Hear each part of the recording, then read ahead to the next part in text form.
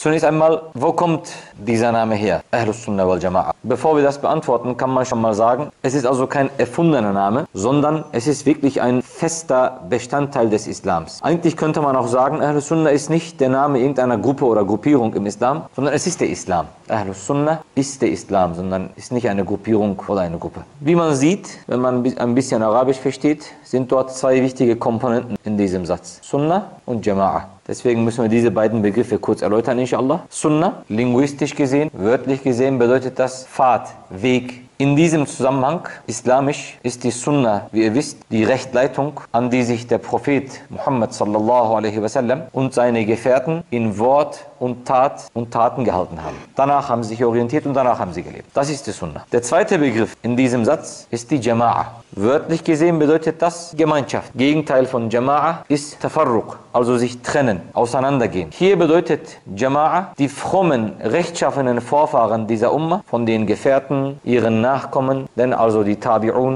die Tabi'i Tabi'un, es geht immer weiter, Generation für Generation und allen denjenigen, die ihnen folgen und auch folgen werden, bis zum Tag des jüngsten Gerichts. Also kann man das nochmal zusammenfassen und sagen, Ahl Sunnah wal Jama'a ist also die Gemeinschaft, die sich auf dem Weg des Propheten wassalam, und seiner Gefährten und der darauf folgenden Generationen und darauf folgenden Generationen und heute und bis zum Tag des jüngsten Gerichtes an dieser Sunnah festhalten. An der Sunnah des Propheten wassalam. Aber Ma ana alayhi wa ashabi, sagt der Prophet wassalam. Also nicht nur an der Sunnah des Propheten wassalam, sondern auch an der Sunnah und Lebensweise seiner Gefährten radiallahu anhum ajma'i. Das ist die Definition, wie es in kurzter, faster Form diesen Satz, diesen Begriff erläutert. Ahlus Sunnah wal Jama'a.